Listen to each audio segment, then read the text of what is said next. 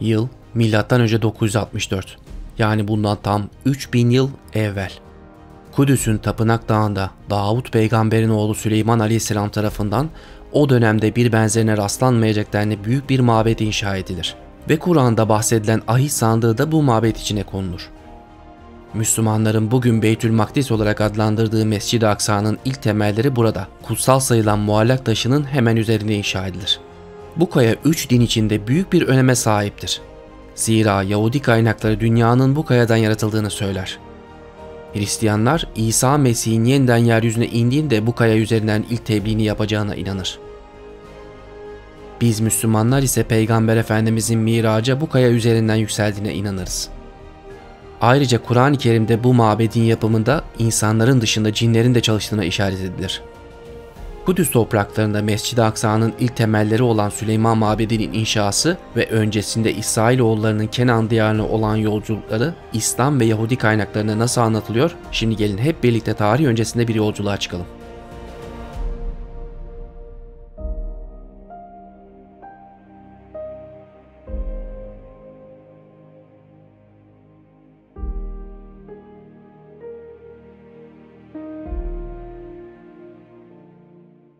Tabi bu yolculuk öncesi sizlere kısa bir hatırlatmada bulunmak istiyoruz. Zira bu eserler hazırlanırken en güvenilir kaynaklara başvuruyor ve bu kaynaklardan derlediğimiz içerikleri sizlere videolar halinde sunuyoruz. Bu nedenle kanalımızı büyütmek için sizlerin de desteğine ihtiyacımız var. Lütfen beğenilerinizi ve yorumlarınızı esirgemeyin ve sizlere daha fazla içerik üretebilmemiz için lütfen kanala abone olmayı da unutmayın. Evet, şimdi gelelim Süleyman Mabedi'nin hikayesine. Konuyu daha iyi anlamak adına kadim dünyanın kapılarını biraz aralayalım.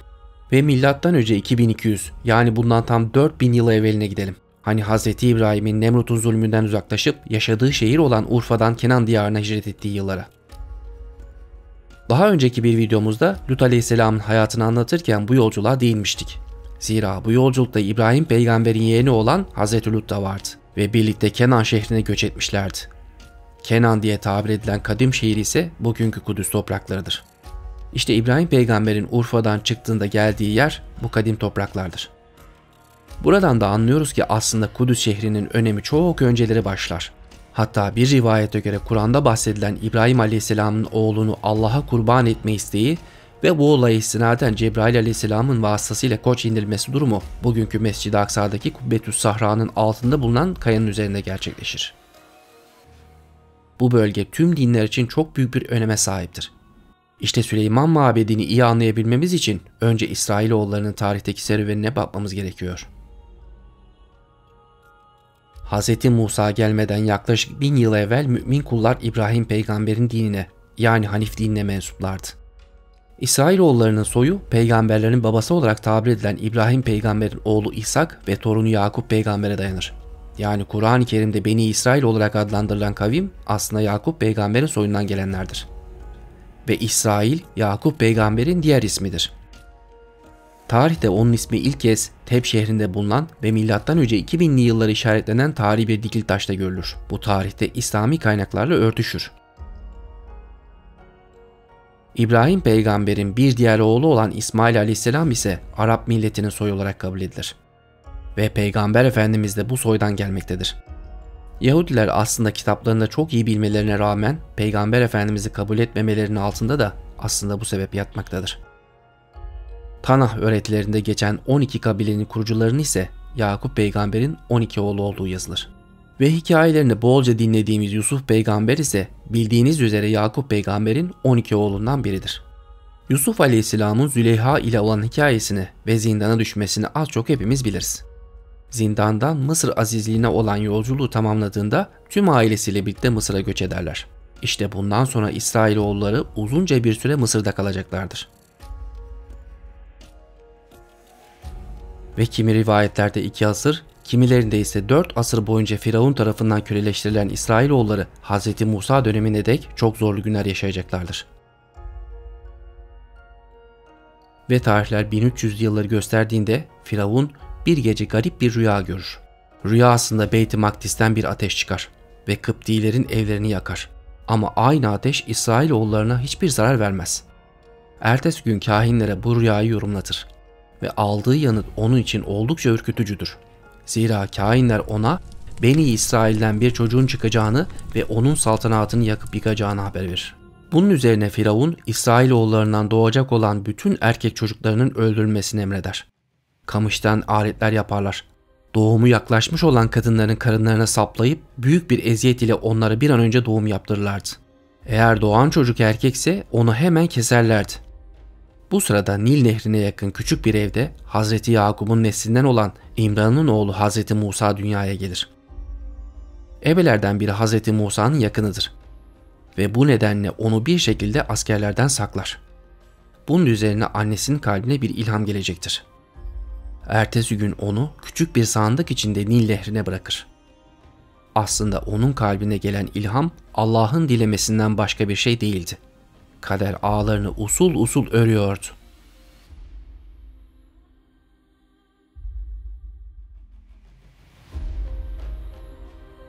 Musa'yı doğurduğunda annesine onu emzir. Kendisine bir zarar geleceğinden korkarsan onu denize bırak.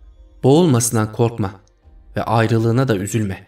Çünkü biz onu sana tekrar kavuşturacağız ve onu peygamberlerden biri kılacağız diye vahyettik.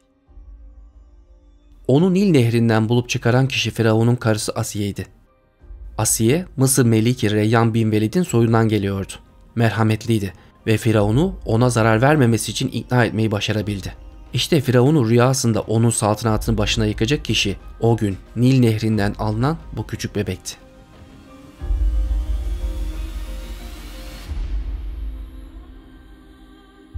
Hz. Musa'nın hayatı oldukça ilginçtir ve İsrailoğullarının büyük kralı ve aynı zamanda peygamberidir. Allah onunla birlikte İsrailoğullarını Tevrat'ı indirmiştir kavmini Firavun'un zulmünden kurtarması ve büyük mucizeleri Kur'an'da detaylıca anlatılır. Kızıldeniz'in yarılıp kavmiyle oradan kurtulması hem Tevrat'ta hem de Kur'an'da geçer. İşte bu yolculuğun varış noktası Kenan şehri yani Kudüs topraklarıdır. Ve nihayet Sina çölüne vardıklarında Allah Tur Dağı'nda Musa'ya 10 emri iletir. Bu Yahudi tarihinde çok önemlidir ve aynı zamanda İsra suresinin 101. ayetinde de bu 10 emre atfen şu şekilde bahsedilir. Andolsun biz Musa'ya açık seçik 9 ayet verdik. Haydi İsrailoğullarına sor. Fakat burada 9 ayet denmesinin sebebi bir ayetin cumartesi yasağı olması ve sadece Yahudilere özel olarak verilmesi nedeniyledir. Aslında bu 10 emir şu şekildedir. Allah'tan başka ilahların olmayacak. Kendin için oyma put yapmayacaksın. Allah'ın ismini boş yere anmayacaksın. Cumartesi günü hiçbir iş yapmayacaksın. Babana ve annene hürmet edeceksin. Adam öldürmeyeceksin. Zina etmeyeceksin. Çalmayacaksın. Yalan şahitliği yapmayacaksın. Komşunun hiçbir şeyine göz dikmeyeceksin. Dikkat edilirse bu emirlerin biri hariç hepsi İslam'da da vardır. Aslında bozulmayan bir tevhid inancı birdir. Adı ne olursa olsun verilen emirler inanç noktasında asla ve asla ayrılmaz. Yani Allahu Teala inanç noktasında Tevrat'ta neyi emrettiyse Kur'an'da da onu emretmiştir. Ama Tevrat Hz. Musa'dan sonra tahrif edilir. Ve bugün Gazze'de yaşananlara baktığımızda bu on emirden ne kadar da uzakta olduğunu açıkça görmüyor muyuz? Oysa Allah İsrailoğullarını büyük bir zulümden kurtarmış ve onlara açık açık bu emirleri iletmişti. Ama onlar yine de kibirle dünyalarını ve ahiretlerini düşünmeden heba etmeye devam ediyorlar. Evet, şimdi kaldığımız yerden devam edecek olursak Allah Musa aleyhisselam vasıtasıyla onlara bu vardıkları çölde haydi Allah yoluna savaşın demişti. Ve önlerindeki şehri gösterip onlara fethi için yol açmıştı. Ama onların cevabı şu şekilde olacaktı. İsrailoğulları ey Musa onlar orada bulundukları sürece biz oraya asla girmeyeceğiz. Sen ve Rabbin gidin savaşın. Biz burada oturacağız dediler. Musa Rabbim ben kendimden ve kardeşimden başkasına söz geçiremiyorum. Artık bizimle bu yoldan çıkmış kavim arasında sen hükmet dedi. Allah buyurdu ki öyleyse onlar yeryüzünde şaşkın şaşkın dolaşmak üzere oradan 40 yıl mahrum bırakılmışlardır. Artık sen yoldan çıkmış toplum için üzülme. Ve öyle de oldu. Yeni bir nesil gelene dek onların nesli o çöllerde yaşayıp gitti. Kadim şehir Kudüs'ü asla göremediler. Peygamberlerine olan bu küstahça cevabı nedeniyle Allah onları cezalandırmıştı. Hz. Musa peygamberlik görevi süresince yaratıcının vahyettiği ayetleri bir kitap haline getirdi ve onu iki levha ile birlikte ahit sandığının içine koydu. Bu ahit sandığını İsrailoğulları göç yolunda daima yanlarında taşıdı. Hz. Musa 120 yaşındayken Moab'de Sina çölünün Filistin sınırına yakın kısmında vefat etti ve oraya da defnedildi. Bugün tam yeri hala bilinmemektedir. Evet, şimdi gelelim Hz. Musa'nın vefatıyla birlikte Sina çölünde kalan İsrailoğullarının durumuna. Zira onlar korktukları için Kudüs topraklarını fethetmek istememişler ve Kur'an-ı Kerim'de geçen o küstahça cevap vermişlerdi. Bunun üzerine Allah onları 40 yıl boyunca cezalandırdı ve Kur'an'ın deyimiyle o çöl topraklarında şaşkın şaşkın dolaşmak üzere onları oraya mahkum etti. Bu nedenle Kenan diyarını fethetmek Hz. Musa'ya nasip olamamıştı. Fakat bu görev Tevrat'ta onun yardımcısı olarak bahsedilen Yeşu'ya verilecekti. Yani bizim bildiğimiz ismiyle Yuşa aleyhisselama. Yuşa aleyhisselam 12 kabileden birinin lideriydi ve Mısır'dan başlayıp Sina çöllerine olan bu yolculuğu boyunca daima Hz. Musa'ya yardımcı olmuştu. Bu nedenle Tevrat'ta Yeşu, Hz. Musa'nın yardımcısı genç adam olarak geçer. Ve o aynı zamanda Allah savaşmayı emrettiğinde ona itaat eden iki kabile reisinden de biriydi. Bu nedenle Musa peygamber öldüğünde onu yerine geçecek ve İsrailoğullarına liderlik edecek kişi de elbette ondan başkası olamazdı. Yuşa aleyhisselam Kenan diyarına askeri seferler düzenledi. Bölgede bulunan göçebe halk Amorilerle savaştı ve sonunda onların gücünü kırıp bölgeyi ele geçirmeyi başarabildi. Topraklarını da 12 kabile arasında paylaştırdı. Kutsal ahitte Yuşa aleyhisselam askeri liderliğin dışında peygamber olduğundan da bahsedilir. Lakin Kur'an-ı Kerim'de bu isme rastlamıyoruz. Fakat Maide suresinde Musa peygamberin sözlerini destekleyen ve cihadı isteyen iki kişiden bahsediliyor. Rivayetlerde bu kişilerden birinin Yuşa aleyhisselam olduğu anlatılır ve Yahudi kaynaklarında Yuşa aleyhisselam vefat ettiğinde 110 yaşında olduğundan bahsedilir. Bildiğiniz üzere bugün İstanbul'da Beykoz'da Yuşa aleyhisselamın kabri bulunmaktadır. Peki ama bu nasıl mümkün oluyor dediğinizi duyar gibiyim.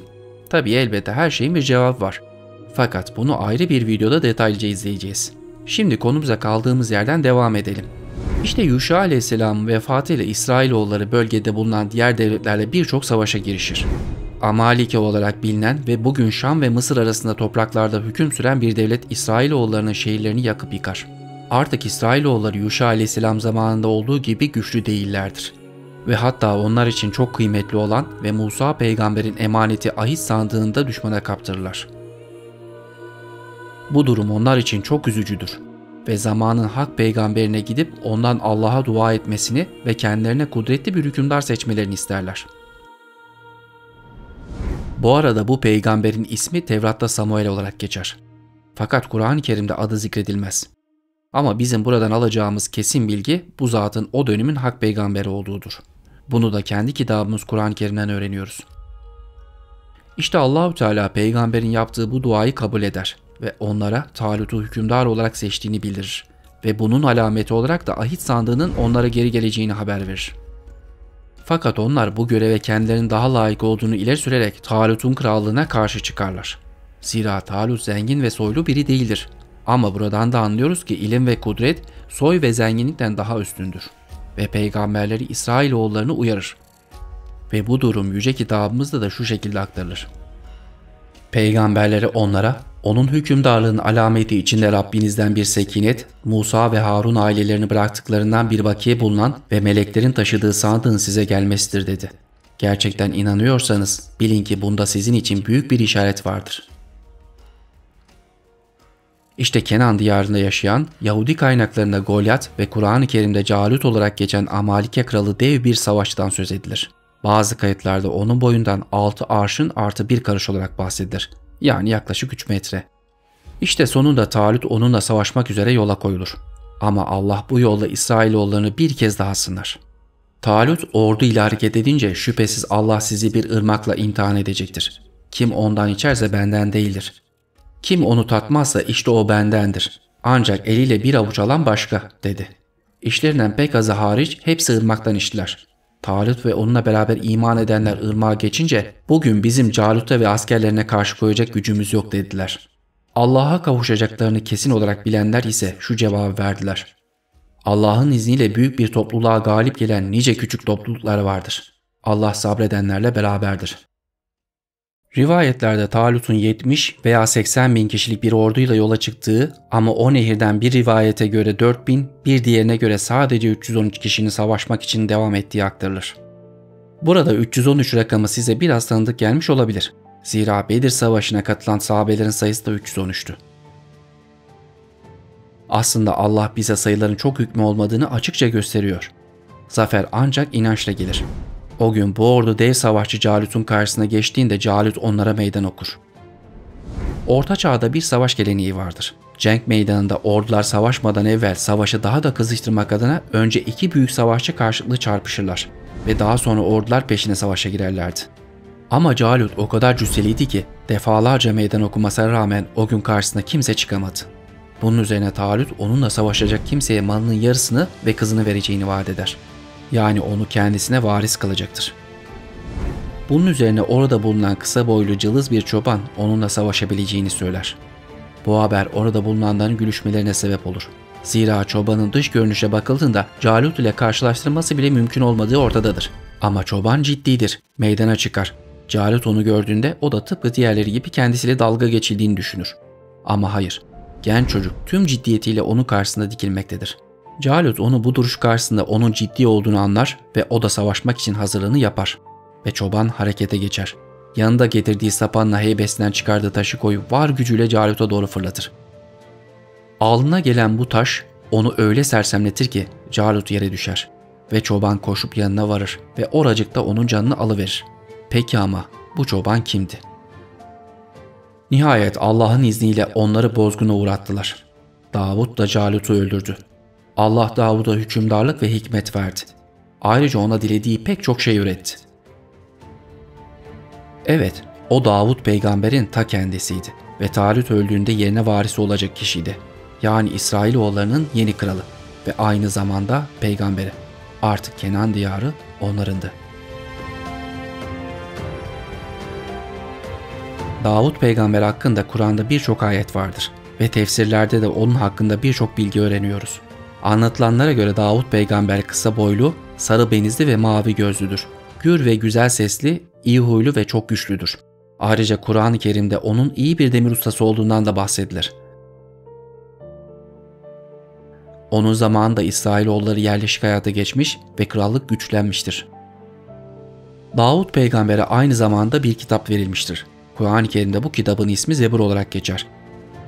Ve Davut aleyhisselam bu kutsal şehirde görkemli bir mabet inşa etmek ister. Yerini ve onu yapacağı malzemeleri hazırlasa da bu mabedi yapmak oğlu Süleyman aleyhisselama nasip olacaktır. Süleyman aleyhisselam da tıpkı babası gibi kudretli bir hükümdardır ve hatta Peygamber Efendimizin bir hadisinde dünyaya hükmeden dört kraldan biri olarak geçer ve aynı zamanda o bir peygamberdir. Kur'an-ı Kerim'de birçok ayette onun kıssaları anlatılır ve ona kendisinden önce gelen peygamberlere verilmeyen güçler verilmiştir. Süleyman'ın hizmetine de güçlü esen rüzgara verdik. Rüzgar onun emriyle içinde bereketler yarattığımız yere eser giderdi.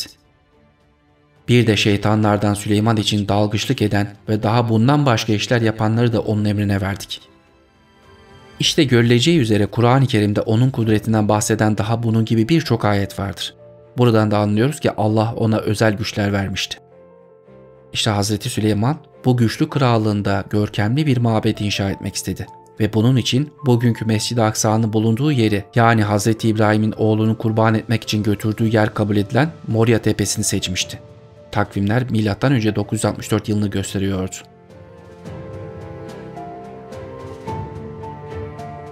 Mabedin inşası Yahudi kaynaklarında çok detaylı anlatılır. Bu anlatılanlara göre Süleyman peygamber babasının dostu olan Sur kralı Hiram ile sıkı ilişki kurmuştu. Ve Hiram mabedin yapımında büyük katkı sağlamıştı. Ve adamları Lübnan dağlarından erz ve servi kerestesi temin edip Süleyman peygambere getirmişlerdi. Ve bu yapıda yük taşıyan 70 bin ve dağlarda taş kesen 80 bin işçinin olduğundan bahsedilir. Bu işçiler mabedin temeli için büyük taşları yontup keresteleri hazırlıyorlardı. Yahudi kaynaklarında bu mabedin yapımında aynı zamanda cinlerin de yardım ettiği yazılır. Ve Kur'an-ı Kerim'de de Süleyman peygambere yardımcı olan cinlerden bahsedilir. Kaynaklarda bu görkemli yapının tam 7 yılda tamamlandığı yazılıdır. ve tamamlandığında kutsal ahit sandığı mabedin özel bir odasına konulur. Ve artık İsrailoğulları büyük bir krallığa sahiplerdi ve aynı zamanda bu şehre yakışan görkemli bir mabetleri de vardı. Hatta ondan neredeyse 13 asır sonra Bizans topraklarında yapılan Ayasofya tamamlandığında 2. Konstantius'un kilisenin kapısında ''Ey Süleyman seni geçtim'' diye bağırdığı anlatılır. Zira dönemini düşündüğümüzde bu yapıların benzerleri yok denilebilecek türden özel ve görkemli yapılardı. Peki videonun başında konuştuğumuz arz-ı mevut yani vaat edilmiş topraklar neydi? Gerçekten bu kadim şehir onlara Allah tarafından mı sunulmuştu? Ahdi Akit'te yani Zebur ve Tevrat nüshalarında bu toprakların İbrahim peygambere ve onun zürriyetinden gelenlere verildiğinden bahsedilir. Ama bu karşılıksız değildir. Tevrat'ta geçen bu ahit ancak onların Allah'ın dinine uyma karşılığında verildiğinden bahsedilir. Fakat Kur'an-ı Kerim'de böyle bir ahitten bahsedilmez. Yalnız Hz. Musa'nın kıssası anlatıldığı ayette şöyle bir ibare geçer. Ey kavmim! Allah'ın sizin için yazmış olduğu arz-ı mukaddese giriniz. Şayet bir vaatten söz edilecekse eğer, bu vaat Hz. İbrahim soyundan gelen mümin kullara verilmişti. Halbuki İsrailoğulları Allah'ın emirlerine boyun eğmemiş, yapılan ahitleri yerine getirmemiş, hatta Allah'ın elçilerini öldürüp fesat çıkartmışlardı. Ve bu şayet soya verilmiş bir hak olarak bakılsa dahi Peygamber Efendimizin de Hz. İbrahim soyundan geldiğini unutmamak gerekir. Yani ortada bir hak varsa eğer bu sadece İsrailoğullarının değildi. Kaldı ki her konuda olduğu gibi yine yüce kitabımız zaten bu konuda da en son sözü söylemişti. Andolsun ki Tevrat'tan sonra Zebur'da da yeryüzüne ancak iyi kullarımın mirasçı olduğunu yazmıştık. Takipte kalın. Serinin yeni videosunda şehri yerle bir eden Nabukadnezar'ın hikayesini dinleyecek ve görkemli Süleyman Mabedi'nin kalıntılarını da gezeceksiniz. Ve dahası İsrailoğullarının yüzyıllar sonra yine büyük sürgünle şahit olacaksınız. Bir dahaki videoda buluşuncaya dek hoşçakalın.